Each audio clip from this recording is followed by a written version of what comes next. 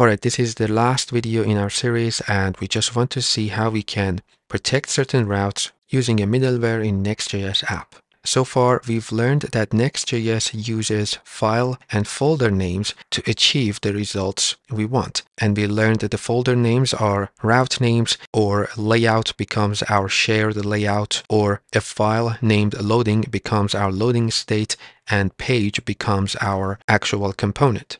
That same rule applies to the middleware. In order to have a middleware in our Next.js application, we can create a new document in the root directory of our application. So not in the app folder, but in our source folder, because we do have a source folder. If you didn't have this source folder, you would create your middleware right here in the root directory. The name of this document must be middleware.js or TS for TypeScript. And in this document, we should have one function that is being exported and it is called middleware. So let's say export default function middleware. And as the argument, this will take the request, which is a next request. So this is from next forward slash server. And we don't actually have to import this since we are using JS. But if you were using TypeScript, you would say, for example, next request like this. So that would set the type.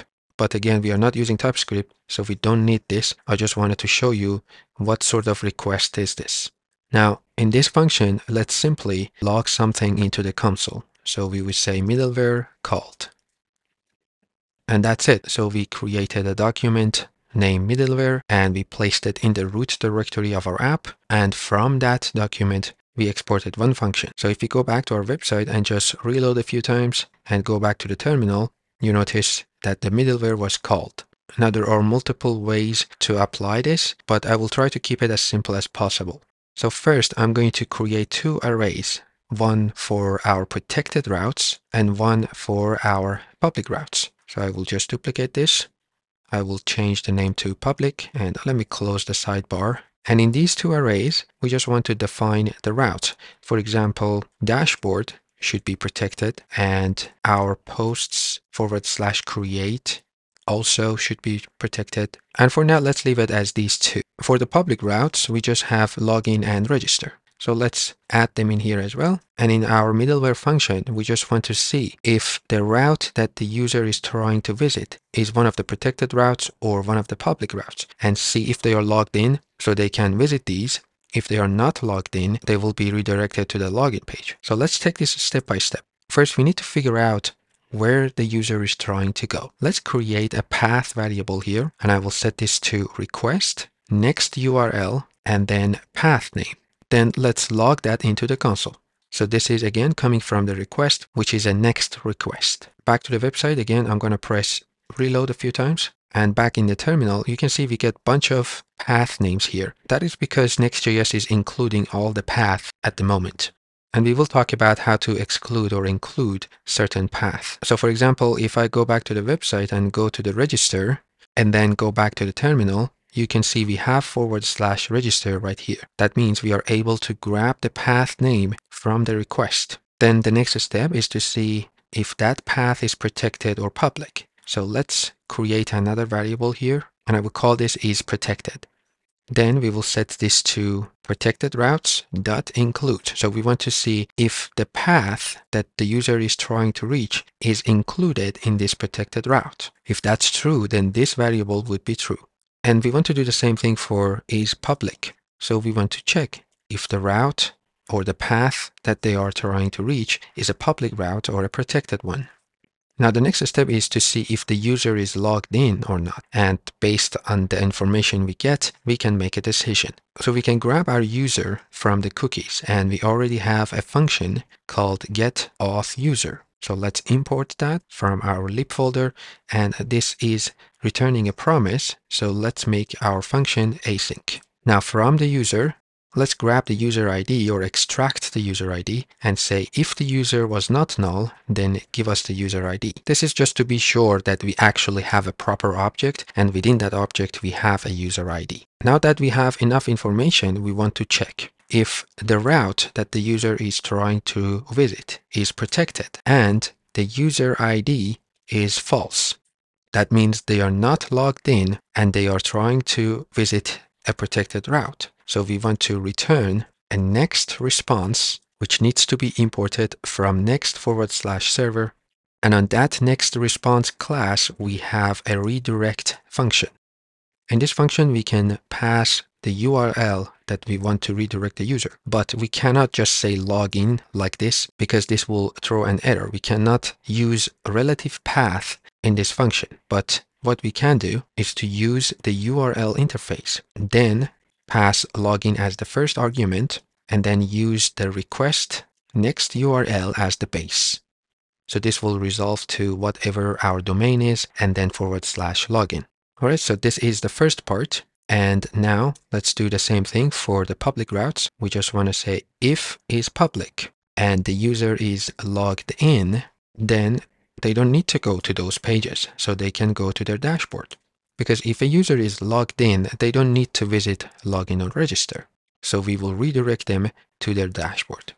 Now, if none of this is the case, then we would simply return a next response. And on that, we use the next function. This will carry on with the next request. Alright, so this is a very simple example of a middleware. We just define our protected and public routes, and then we check if the path that the user is trying to visit is protected or public. If they are authenticated and the route is protected, then it's fine, they can visit. But if they are not authenticated, they will be redirected to the login page. On the other hand, if they are authenticated and they try to visit login or register, then we will redirect them to their dashboard because there is no need for them to visit those pages. So this is not complete, of course, but we will come back to it in a moment. Let's just test out the few routes we have in place. So on the homepage, we don't have any problem and I am not logged in. I can go and visit this detailed page of each post. If I try to go to login and register, that's also fine. But if I try to go to dashboard, then I am redirected to the login page. If I try to go to the create page, again to the login page. However, if I try to go to the update page by editing the URL, I will get an error. And we will get to this error. Even though this error is coming from the edit component complaining about the user ID, but we don't even want to get there. We want to use the middleware to intercept this request and not read anything from the component if the user is not logged in. So we will fix that in a moment but let's log in. And of course, we can go to our dashboard. We can go to the edit page, no problem. But if I try to go to login, then we are back to the dashboard. And of course, same thing works for the register. And we are back to the dashboard. So this simple middleware is working properly, except that update page, which we will fix just now. So let's log out again visit the update page, so we get an error. That is because we are not including that in our protected routes. And we cannot come up here and say, for example, posts forward slash edit because that route is dynamic. But what we can do, we add another condition to this is protected property. Right now, we are just saying if it is included in this array, but we want to say or using two pipes and say if our path starts with our edit page URL. So we can pass a string and say if it starts with posts forward slash edit and then another forward slash. So this variable here is going to be true if the path is one of these or it starts with posts forward slash edit. So back to our website, if I reload this one, we are redirected to the login page. So we don't even get to the component to read anything from it, so we don't get any errors.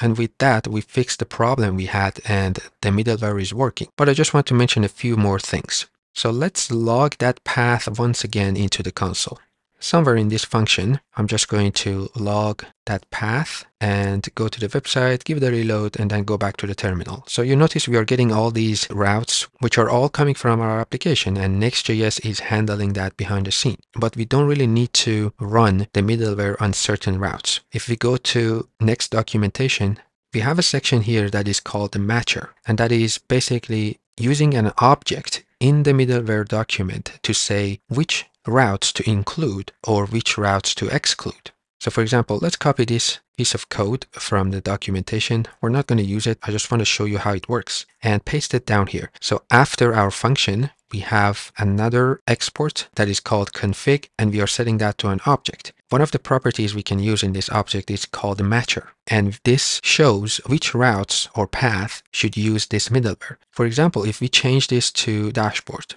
and then go back to our website, give it a reload, and then try to go to the dashboard, of course, we go to the login. However, let's go to posts create. You can see we can access the page and we are not logged in because using this object, we said we only want to apply the middleware to the dashboard page. So that's what this matcher does. It, it is used to exclude or include certain path from our middleware. Let's say you want to have multiple path here. You can turn this into an array and say, for example, dashboard and posts forward slash create. So this will now redirect us to the login page. But this will again create a problem if we try to access the edit page because the middleware is not working. So sometimes you want to say that include all the routes that starts with post and whatever comes after it. So instead of hard coding this create, I can say colon path star. So whatever comes after these posts. And now back to our website, you can see we are redirected to the login page. So we cannot go to the create page. You can see we are back to the login or the edit page. We can also have a reverse lookup or matcher. And in the documentation, we have an example here. And I'm going to copy it, paste it here so we can see better.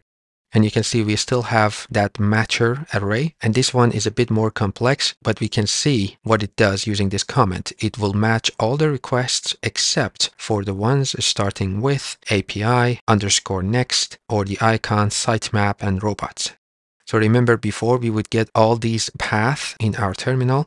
If we go back to the home page of our application and reload it a few times, you notice we are not getting all of that extra path anymore. We are just getting forward slash, which is the path name. So I will keep this here and I will remove these comments.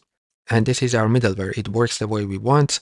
And if you have more path or more directories, you can just add it here. Just remember that if you have dynamic routes, you need to use functions like starts with, or in some cases, you can use regex. Let's delete this console.log and let's go back to our website and have a complete test one last time. I'm going to start by registering a new user. For example, Jack. I'm going to add a password. If it doesn't match, then we will, of course, see an error. Let's register. We wait a while. We go back to the dashboard. We don't have any posts. Let's create one. So I would say Jack's post and some text for the content. I'm just going to copy paste this. Press submit we have our post here. Back in the dashboard, we can go to the view page or we can go and edit that. Let's say update. It works. If we delete it, it also works. We go back to the home page and let's go to John's post. We can see it, no problem. If we try to edit this one, then we are back to the home page because we do not own the post. If we try to go to the login page while we are logged in, we are back to our dashboard. And if we log out, and try to visit dashboard, we are redirected to the login and it seems that everything is properly working. So we are done with our Next.js crash course and we covered a lot of topics. In the future, I will have more Next.js videos and playlists, but this is the end of this series. And I want to thank you all for your support and see you in the future videos.